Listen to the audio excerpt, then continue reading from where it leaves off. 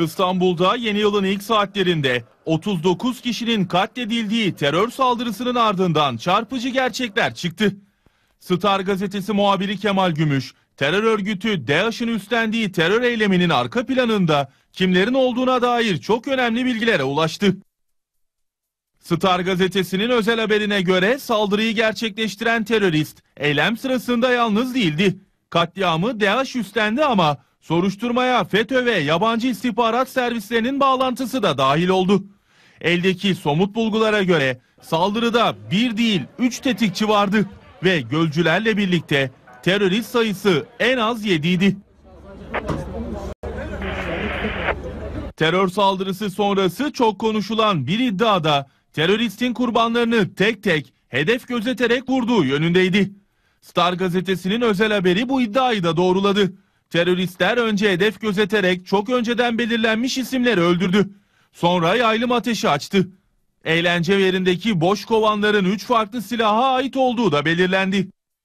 Terör saldırısında yaralı kurtulanların ifadeleri de bu iddiayı doğruladı. Kamera ve cep telefonu görüntüleri uzman isimlerce incelendi. Saldırganların önceden belirlenmiş hedeflere yöneldikleri, asıl öldürmeleri gereken kişileri katlettikten sonra hedef şaşırtmak için diğer insanları da taradığı ortaya çıktı. Kameralara yansıyan terörist içeri girdiğinde müşteri kılığında olan biri kadın iki teröristi harekete geçti.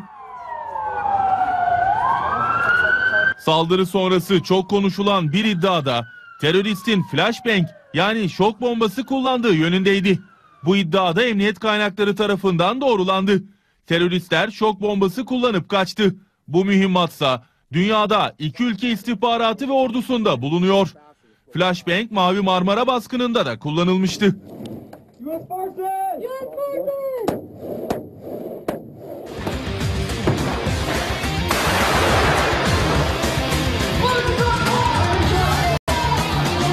Peki silahlı oldukları belirlenen diğer iki terörist nasıl oldu da silahlarıyla birlikte önceden gece kulübüne girdi? Soruşturmada en dikkat çeken ayrıntı eğlence merkezinin güvenliğini 2012'den beri yürüten Delta VIP isimli güvenlik şirketiyle ilgili. Şirketin FETÖ soruşturması kapsamında incelendiği Yönetim Kurulu Başkanı Orhan Özcan'ın da FETÖ'nün önemli finansörlerinden olduğu iddia ediliyor.